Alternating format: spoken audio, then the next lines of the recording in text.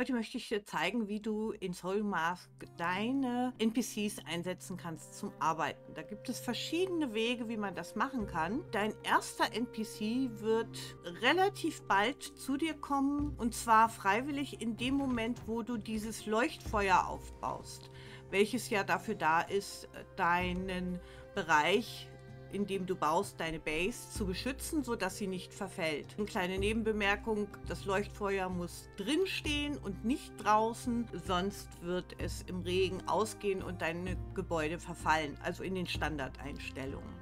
Wie ihr seht, habe ich hier bereits drei NPCs, die arbeiten alle für mich. Ich habe das alles automatisiert. Das erste, wo du wahrscheinlich damit in Berührung kommst, ist der Moment, wo du eine Handwerksbank oder einen Schreinertisch aufgebaut hast und du möchtest etwas herstellen. Wenn wir das öffnen mit E, das Menü dieses Handwerkstisches, dann sehen wir einmal hier all die Dinge, die wir herstellen können. Wir sehen hier, diese Sachen habe ich bereits freigeschaltet und kann ich herstellen. Diese Sachen hier mit dem Schloss, die kann ich noch nicht herstellen. Das habe ich noch nicht gelernt. Wenn ich jetzt etwas herstellen möchte, als Beispiel, ich möchte herstellen eine Klemmplatte, dann würde ich normalerweise E drücken und dann erscheint das hier, sofern ich die Materialien habe. Wenn ich jetzt D drücke, erteile ich hier einen Auftrag, dies herzustellen. Ihr seht, dieser Auftrag ist jetzt so goldbraun hinterlegt, diese Aufträge sind lila hinterlegt. Was ich jetzt mache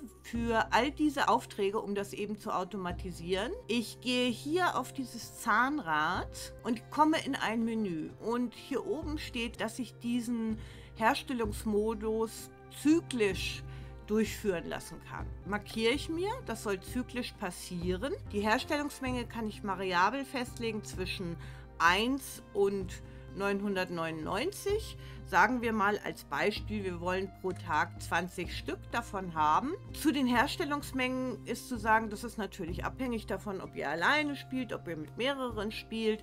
Und im Laufe der Zeit merkt ihr auch, wie viele dieser Dinge ihr tatsächlich braucht. Ihr könnt aber auch zum Beispiel einfach sagen, okay, ich stelle bei allem 999 ein und das wird eh nur so lange abgearbeitet, wie auch Material dafür vorhanden ist.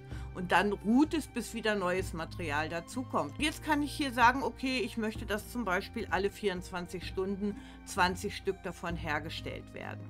Und dann muss ich das Ganze nur noch bestätigen. Jetzt seht ihr, das ist jetzt bestätigt. Alle 24 Stunden werden 20 von diesen Klemmplatten hergestellt und das dauert knappe drei Minuten. Als nächstes könnt ihr hier unten einen Betreuer zuteilen. Und wenn ich jetzt hier einfach draufklicke, dann sehe ich die NPCs, die ich bei mir im Stamm habe. Man sieht hier, einer ist bereits so gelb-gold hinterlegt. Das ist der, der dieser Bank zugewiesen ist. Auf der linken Seite erscheinen jetzt die Fähigkeiten meiner Mitarbeiter. Deswegen bevorzuge ich diese Methode, um Arbeitsaufträge zu erstellen, weil ich hier sehr deutlich sehen kann, wer welche Fähigkeiten mitbringt. Also der Herumstreicher kann sich für das Thema Holz und Stein bis auf Level 89 weiterentwickeln. Aktuell ist er auf Level 41. Der Barbar könnte sich bis Level 90 weiterentwickeln weil er aber hier noch nicht gearbeitet hat, hat er erst Stufe 7 erreicht. Der andere Barbar könnte sich auf 80 weiterentwickeln und ist aktuell auf Stufe 5. Das bedeutet, für die jeweilige Werkbank wird immer grünlich hinterlegt, welche Fähigkeiten man braucht und wie die Entwicklungschancen bzw. wie der tatsächliche Entwicklungsstatus für diese Werkbank ist. Wenn ich jetzt hier anklicke, wechsle das einfach einmal. Ich drücke lange hier drauf, dann habe ich jetzt den Betreuer Barbar zugewiesen. Ich nehme das jetzt in dem Fall gleich mal wieder zurück und setze ihn wieder ein. Das bedeutet, all diese Dinge werden jetzt automatisch alle 24 Stunden, also ich stelle immer alles auf 24 Stunden ein, aber ihr könnt auch sagen, das möchte ich alle sechs Stunden hergestellt haben oder so. Ja, das haben wir ja vorher gesehen. Das ist die eine Sache, wie ihr das Ganze einrichten könnt. Hier unten steht jetzt noch Gegenstände, die hier von Stammesmitgliedern hergestellt wurden wurden, werden nicht in die Lagertruhe verschoben. Es ist so, die NPCs holen sich automatisch die Materialien aus dem Lager und bringen sie auch automatisch in die richtige Kiste. Und woher wissen Sie, was die richtige Kiste ist? Ganz einfach, indem ihr die Kisten zugewiesen habt, die Lagerkisten. Das geht mit jeder Lagerkiste. Wir haben jetzt hier eine Lagerkiste, die habe ich bereits zugewiesen für alles, was so tierische Materialien sind. Dafür geht man in die Kiste rein, geht dann auf Lagergegenstände einstellen, kann dann hier die Kategorie auswählen. In meinem Fall sind das jetzt die Tiere. Und theoretisch kann ich hier noch sagen, es soll alles da rein oder es soll nichts davon da rein oder eben alles da rein oder Premiumfell soll aber da nicht rein, das soll in eine andere Kiste. Für mich persönlich ist es übersichtlicher, wenn die alles einfach in die Kisten reintun. Ich selber beschäftige mich mit Herstellung relativ wenig ab einem gewissen Zeitpunkt in diesem Spiel. Ich überlasse das alles meinen Leuten. Gut, jetzt machen sie gerade alle Pause, aber wenn es Tag ist, dann flitzen sie hier ganz ordentlich rum und arbeiten. So kann ich das halt für jede Werkbank einstellen und die werden immer so lange arbeiten, wie sie Material haben. Und wenn sie kein Material mehr haben oder wenn es wie in diesem Fall hier abgearbeitet wurde, dann widmen sie sich der nächsten Aufgabe. Die Alternative ist, ihr drückt die Taste P. Mit der Taste P kommt ihr in das Menü Arbeit. Jetzt kann ich hier oben neben meinem Namen anklicken und bekomme die Liste meiner NPCs angezeigt. Wenn ich auf Kämpfen gehe, kann ich sie mitnehmen. Ich kann sagen, sie sollen die Arbeit pausieren oder ich kann sie markieren, um sie auf der Karte zu sehen. Wenn ich jetzt zum Beispiel hier den Barbar anklicke, dann seht ihr hier die Arbeitsaufgabe Verwalte Werkbänke in der Umgebung. Das ist das, was wir eben an der Werkbank eingestellt haben. Was man hier jetzt auch sehr gut sieht, es gibt aktuell eine in Anführungsstrichen Werkbank, der keinen NPC zugewiesen wurde. Und das ist die Toilette. Das heißt, die Toilette, da müssen wir noch einen NPC zuweisen. Jetzt ist es hier in diesem Menü so, dass ich nicht besonders gut sehen kann, wer jetzt besonders qualifiziert ist, zum Beispiel für die Aufgabe, Leder herzustellen. Ja, Toilette ist da vielleicht ein falsches Beispiel. Aber ich kann einfach auch hier die Zuweisungen ändern. Ich kann hier einen Haken rausnehmen und mit der Taste E bestätigen oder ich kann hier ein Häkchen setzen. Wenn ich hier einen Haken rausnehme und das Ganze bestätige und gehe jetzt zum Beispiel hier auf Sie, hier auf Herumstreicher, dann sehe ich jetzt hier zwei offene Positionen. Wir werden also das hier wieder zuweisen und wir werden auch die Toilette diesem NPC zuweisen und das Ganze einfach mit E bestätigen. Sie ist jetzt gleich schon mal losgerannt und holt die Fäkalien, die man dann später für die Felder braucht und wird sie hier einlagern in der richtigen Kiste. Ja. Jetzt muss ich selber mal gucken. Hier sind jetzt unsere ersten fünf Fäkalien aus der Toilette. Die hat sie hier reingebracht. Und wenn sie sie benötigt oder irgendein anderer NPC sie benötigt, dann wird er da die entsprechend hier wieder rausholen. Das gleiche kannst du aber auch für andere Aufgaben machen. Das waren ja jetzt mal nur die Werkbänke. Dieser Level 13 Barbar, dem habe ich Werkzeug gegeben, ganz viel. Sensen und Äxte und alles mögliche, aber das sollst du nicht haben. Das hat er gerade hergestellt. Da fehlt noch die Kiste, deswegen hat er das nirgendwo reinlegen können. Das nehme ich mir mal raus. Also der hat jetzt Werkzeug von mir bekommen. Jetzt gehe ich hier auf P, Arbeit. Dann gehe ich auf meinen Level 13 Barbar, gehe hier auf dieses Plus und sage jetzt, der soll mir nämlich in der Wildnis den Dinge sammeln. Und den Arbeitsort habe ich festgelegt, indem ich auf der Map einen Marker gesetzt habe, der ist ganz hier bei mir in der Nähe des Hauses und der heißt Holz und Stein. Das Arbeitsziel kann ich hier jetzt festlegen. Holzfällen oder eben auch Bergbau oder etwas ernten. Ich gehe jetzt mal auf Holzfällen und die Menge lasse ich auf unbegrenzt. Er soll das in nahen Lagertruhen ablegen.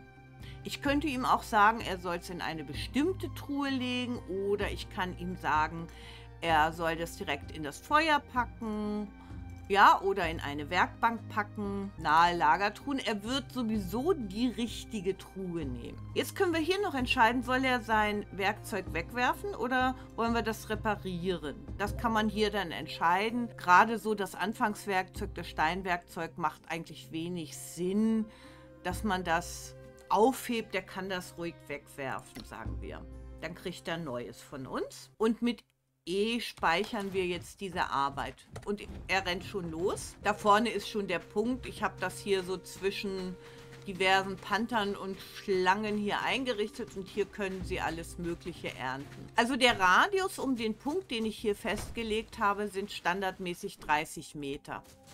Ja, in diesem Bereich wird er Dinge ernten und ich habe eben versucht, das so einzurichten, dass er nicht unbedingt in irgendwelche wilden Tiere reinrennt. Aber er hat auch Waffen dabei, mit denen er sich verteidigen kann. Und er ist sowieso ein relativ guter Kämpfer schon. Also könnte er sich notfalls auch verteidigen, denke ich. Wenn ich hier auf Verhaltenseinstellungen gehe, dann habe ich hier bei dem NPC die Angriffseinstellungen. Und standardmäßig stehen die auf passiver Angriff oder passive Flucht. So, ich habe ihn jetzt auf passive Flucht gestellt. Der sollte jetzt wegrennen. Das ist natürlich wichtig, ne? Dass er möglichst... Ich will ja nicht, dass er stirbt, während er arbeitet. Und bevor er tot ist, stelle ich ihn lieber entsprechend so ein. So, und da ist er schon wieder da. Passive Flucht, denke ich, ist das Beste. Die Agro-Range, die ist ja nicht so groß bei den Tieren hier. Also bei einem Panther wäre das ein bisschen was anderes, aber hier ist das okay. Jetzt geben wir ihm gleich noch eine weitere Aufgabe. Arbeit. Dann hier unser Level 13 Barbar. Der wird übrigens durch die Tätigkeiten natürlich sein Level verbessern. Wir sagen jetzt, er soll hier sammeln in der Wildnis, bei Holz und Stein und er soll Bergbau betreiben, Menge unbegrenzt und das Werkzeug soll er wegwerfen. Er wird jetzt hier die ganze Zeit im Radius von 30 Metern um diesen markierten Punkt herumlaufen und wird die Materialien hier abernten und legt sie uns in die Werkbänke. Wenn unsere NPCs arbeiten, entwickeln sie sich weiter. Da kämpfen zwei Schlangen miteinander übrigens. Und wenn ich hier mit Tab in das Menü reingehe, in mein Handmenü, kann ich hier auch wieder auf die Liste meiner NPCs klicken, kann mir angucken, was sie für Eigenschaften, für Fähigkeiten mitbringen. Wir gehen jetzt hier mal, er hat hier jetzt schon einen Attributepunkt dazu bekommen durch die Tätigkeiten, die er für mich ausführt. Hier geht es mir um allgemeine Charaktereigenschaften von ihm. Das interessiert uns jetzt im Moment nicht unbedingt aber es geht uns hier ums Können. Dieses Menü haben wir in Kurzform vorhin schon mal in der Werkbank gesehen. Hier können wir jetzt gucken, wenn er irgendwo bereits Level 30 erreicht hat, was jetzt hier leider nicht der Fall ist, dann kann hier rechts eingestellt werden. Ich nehme jetzt mal mich selber als Beispiel. Das könnte aber auch ein normaler NPC sein. Dann bekomme ich hier bei Level 30 das erste Mal eine Auswahlmöglichkeit, ob ich schneller ernten möchte, mehr ernten möchte, weniger meine Materialien abnutzen will oder meine Ausdauerkosten beim Ernten senken will. Das gilt für die NPCs natürlich genauso. Die haben auch diese Auswahl hier und wenn sie Level 30 sind bei einer Tätigkeit, dann kann man das hier entsprechend einstellen. Und das gilt sowohl für handwerkliche Tätigkeiten als auch für die Kampffähigkeiten. Der Unterschied zwischen meinen Dingen, die ich arbeite und den NPCs ist, dass die NPCs sich theoretisch immer höher entwickeln können als ich. Also er kann sich zum Beispiel hier bei Doppelklinge bis 107 entwickeln oder beim, bei der Waffenherstellung bis äh, Stufe 89. Ich kann mich aber nur mit meinem Charakter bis Stufe 50 jeweils entwickeln. Und das ist ja der Sinn des Spiels, dass man dann ab einem bestimmten Level einfach in einen anderen Charakter hier hineinwechselt also insbesondere natürlich auf den Kampf bezogen, der sich höher entwickeln kann. Und wir sind relativ schnell schon hier bei Stufe 50 angekommen. Das dauert nicht so wahnsinnig lange, wenn wir zum Beispiel immer das Gleiche machen. Also wenn wir immer die gleichen Tätigkeiten ausführen oder wenn wir immer die gleichen Waffen benutzen. Und dann sind wir mehr oder weniger gezwungen, dass wir wechseln.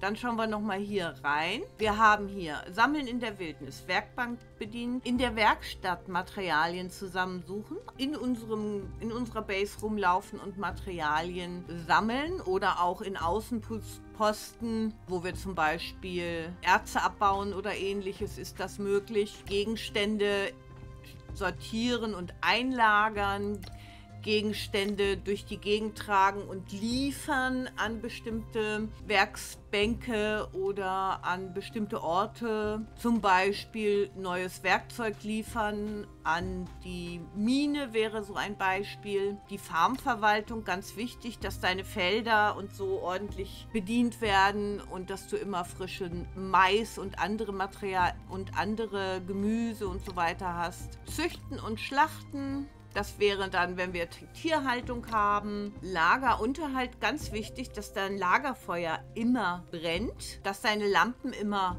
mit Brennstoff versorgt sind und dass deine Base auch repariert wird. Was auch, denke ich, noch sehr wichtig ist, wenn du Materialien herstellen willst oder irgendetwas herstellen willst, dann hast du in der Regel die Auswahl, welche Materialien du als Basismaterialien wählen willst. Also ich kann hier sagen, ich möchte dünnes Seil nur herstellen lassen aus Bästchenfell und nicht aus Garn oder nur aus Garn. Oder ich möchte Lederseile nur herstellen lassen aus grobem Leder, weil ich davon eh ganz viel habe und nicht aus normalem Leder. Ich bin der Meinung, dass das ein großer Vorteil ist, dass man eben diese doch recht langwierigen Tätigkeiten hier komplett übernehmen lassen kann von seinen NPCs. Du kannst natürlich auch alles selber machen. Das bringt dir auch XP. Und wenn du dich eine Stunde lang an Webstuhl stellst und dickes Seil herstellst, dann bekommst du sicher auch eine Menge XP dadurch. Aber wenn du das nicht machen möchtest, sondern vielleicht über die Welt erkunden, rausgehen, etwas bekämpfen, was auch immer, dann ist die Automa Automatisierung hier in Soulmask auf jeden Fall wichtig für dich. Ich hoffe, dieser Guide hat dir gefallen. Wir sehen uns im nächsten Video. Mach's gut, bis dann und ciao.